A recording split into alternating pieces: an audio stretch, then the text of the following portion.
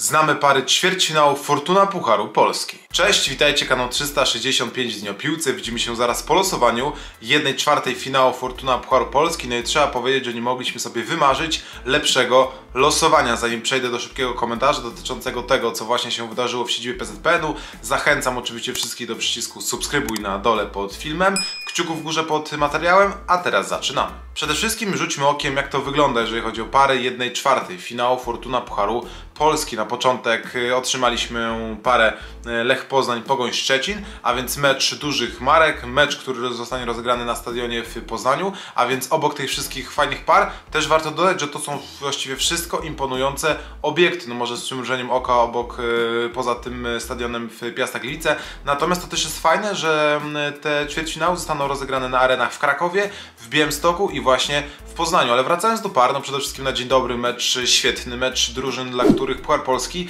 będzie bardzo istotną sprawą, no bo umówmy się, kolejosz, a także portowcy, no niespecjalnie dobrze wyglądają w ekstraklasie. Mniejsze, większe kryzysy, dywaguje się nad stanowiskiem obu szkoleniowców, a więc na temat Johna van der Broma, a także Jensa Gustafsona, więc podejrzewam, że tutaj będzie maksymalny fokus w końcówce lutego właśnie na to spotkanie e, ćwierćfinałowe. Natomiast dalej to jest mecz e, również, mam nadzieję, ciekawy. Piast Gliwice Raków Częstochowa. Oczywiście ktoś powie, że Piast remisuje na potęgę, natomiast ta tendencja w Pucharze Polski jest oczywiście oczywiście inna. Pamiętamy ta wysoka wygrana z Kariną Gubi 5 do 2. Natomiast Raków, co ciekawe, to jest ekipa arcyskuteczna. No być może ktoś powie, że medaliki przepychają te mecze kolanem. Pamiętamy chociażby wymęczony mecz z ŁKS-em, kiedy dopiero po dogrywce Raków załatwił sobie sprawę awansu. Identycznie zresztą było w tym meczu z Krakowem. Natomiast fakty są takie, że Raków nie traci bramek w Pucharze Polski. To jest drużyna arcyskuteczna, e, która po pierwsze gra na zero, a po drugie w tym Pucharze nie przegrywa. Jedyna porażka na przestrzeni ostatnich e, kilkudziesięciu właściwie miesięcy no to jest, słuchajcie, porażka w finale z Legią Warszawa, oczywiście po rzutach karnych. No i w perspektywie takiej, że Legii w tym pucharze już nie ma, oczywiście mistrzowie Polski będą mocnym, jak nie najmocniejszym kandydatem do tego, żeby sięgnąć po puchar na Narodowym. Kolejną parą to jest mecz, no mam nadzieję, bardzo ciekawy, pasjonujący i który będzie elektryzował publiczność w Krakowie, ale i w Łodzi, no bo przecież dwa zaprzyjaźnione kluby stoczą walkę o e, półfinał Pucharu Polski. Mowa, mowa oczywiście o Wiśle Kraków, a także Widzewa Łódź. Modliłem się o to parę, naprawdę chciałem, żeby Wisła trafiła na Widzew, no przecież te kluby gdzieś sympatyzują i też yy, zapowiada nam to duże emocje, ale też fajne widowisko, jeżeli chodzi o trybuny, no bo wiadomo jaka jest historia związana z Wisłą Kraków, ja do tego wielokrotnie się odwoływałem, także nie chcę się specjalnie powtarzać. Na krótko, kluby nie przyjeżdżają yy, do Krakowa na mecze z Wisłą, chodzi mi oczywiście o kibiców tych klubów, wyjątkiem stanowiła Polonia Warszawa, która się powiedziałbym zachowała jak należy, natomiast tutaj w przypadku Widzewa oczywiście wszystko będzie w porządku. No i miejmy nadzieję, że na przykład mecz e, w, przy obecności kompletu e, widzów e, na Raymonta, więc 33 tysiące, no to będzie coś naprawdę wspaniałego. No i na sam e, koniec mecz też mam nadzieję ciekawy, a więc Jagiellonia Białystok, Korona Kielce. Fajnie, że ten mecz odbędzie się w Białymstoku, no bo wiadomo, że ten stadion też imponuje. Jaga gra fenomenalnie w tym sezonie, być może ten mecz z Wartą no, do najlepszych spotkań nie należał, natomiast umówmy się, no pora roku i generalnie warunki atmosferyczne, natomiast podsumowując, naprawdę świetne losowanie i też to się może podobać, że zarówno Legra u siebie, jak i u siebie gra Jagiellonia. Cieszę się bardzo szczególnie tym meczem Wisła Kraków widzę Łódź, także naprawdę zacieram ręce, licząc na duże emocje. Rzućmy teraz okiem na dwie rzeczy. Przede wszystkim terminarz, jak wyglądają nasze plany, a więc kibiców y, Pucharu Polski, jak to wygląda, jeżeli chodzi o rozkład gier,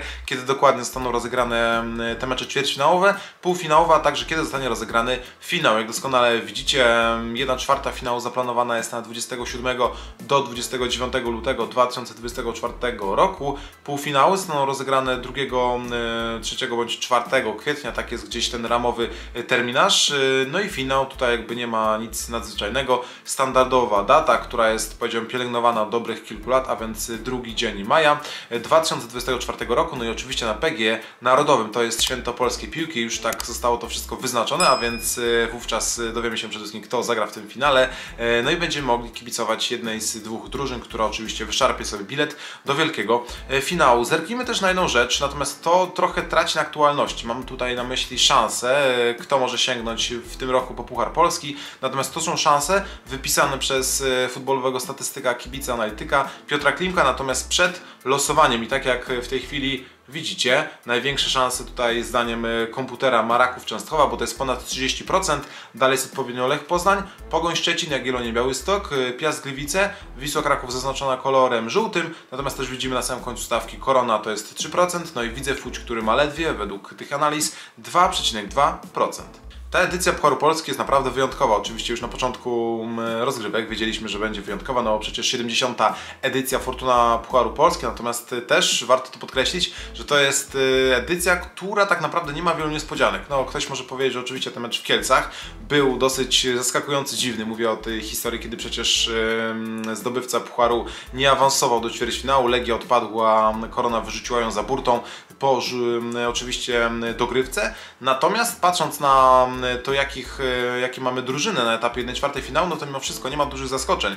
Biorąc pod uwagę, że rok temu na tym samym etapie tylko trzy ekipy z Ekstraklasy e, właśnie awansowały do ćwierćfinału. Mówię tutaj o Rakowie Częstochowa, Legii Warszawa, a także Śląsku Wrocław. No w tej edycji to są, to jest siedmiu ekstraklasowiczów, a także jeden, jedyny rodzynek z Fortuna pierwszej ligi, a więc Wisła Kraków.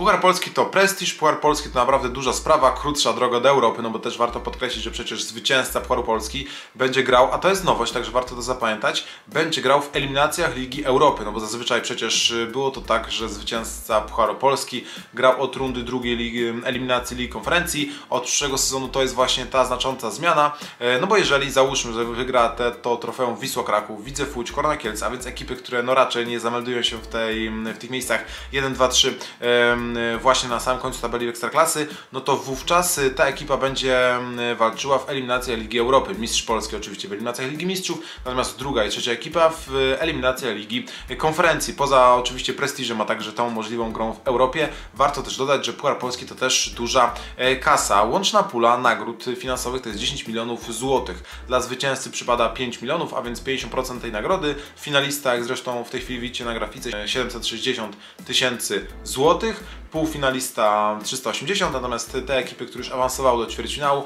są pewne, że minimum dostaną 190 tysięcy złotych. Dajcie koniecznie znać, która para waszym zdaniem jest najciekawsza. Zrobiłem też taką sondę na karcie społeczności, możecie wziąć udział w głosowaniu. Mówiąc szczerze, no też z takiego powiedziałbym, z takiej krakowskiej perspektywy, no oczywiście ten mecz Wisły Kraków z Wizdewem Łódź mnie najbardziej elektryzuje, natomiast myślę, że te konfrontacje Lecha z Pogonią, czy na przykład Piasta z Rakowem, który też będzie miał duże ambicje, żeby powtórzyć ten finał albo przynajmniej sięgnąć po trofeum. Też to będą mecze e, ciekawe. Tak to wyglądało, więc krótki raport, komentarz po losowaniu 1-4 finału Fortuna Puchar Polski. Dajcie koniecznie znać, co myślicie, która para waszym zdaniem jest najciekawsza. Na samym końcu oczywiście zachęcam do subskrypcji kanału. To jest ten czerwony guzik na dole. Pamiętajcie też o kciuku w górze pod filmem. Dzięki, pozdrawiam i do zobaczenia.